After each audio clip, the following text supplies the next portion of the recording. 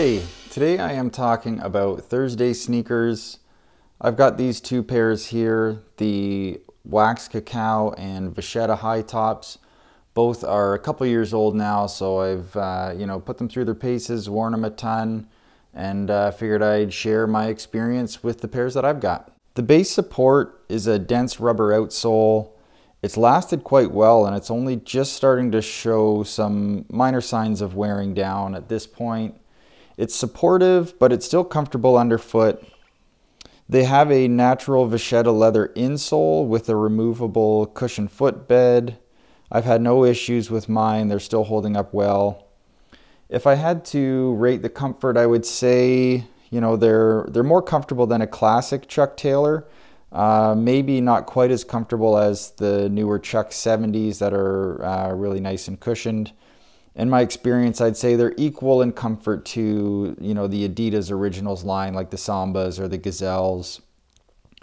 I just have these two pairs of the Thursday sneakers, but the quality control has been quite good. On the Vachettas, there was a stray thread that I just singed with a lighter, and that was it. Other than that, uh, no quality control issues. They're holding up well. Everything's nice and tidy and well done.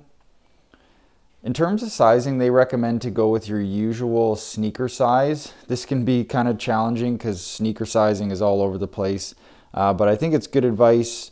Um, I would say go with the largest sneaker size that you wear. Um, you know, my experience, I'm a 9 E double Brannock.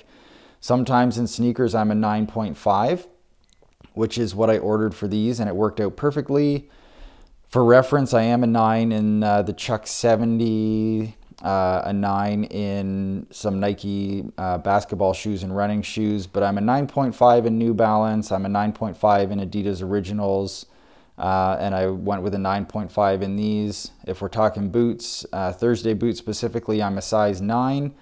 So I went up a half size from my typical Thursday boot size, and like I said, this worked out perfectly for me. These are currently 142 bucks. So they're on the higher side of casual sneakers if you're comparing to things like Chucks or Adidas Originals.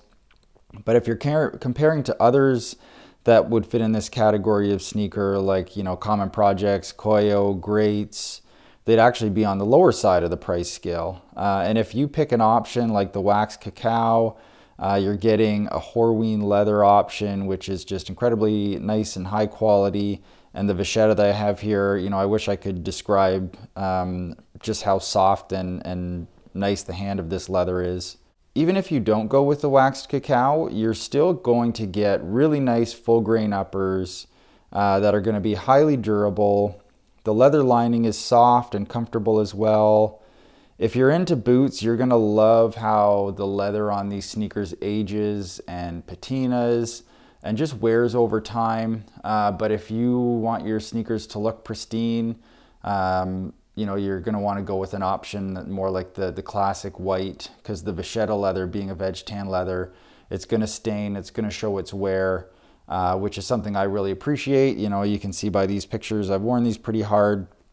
I'm looking at the Vachettas and thinking I should probably uh, maybe do a clean on these and I'll uh, actually maybe I'll do a video of before and after. I'll clean these things up, um, condition them and see how they look before and after. It is always important to keep in mind that when you're wearing leather boots, leather shoes, any, well, leather products in general, if you're wearing and using leather products, they are gonna age, they are gonna crease. Uh, but those are the Thursday sneakers just a really great option, especially if you're a boot lover and you want a nice leather sneaker for the summer. These are gonna be a great choice.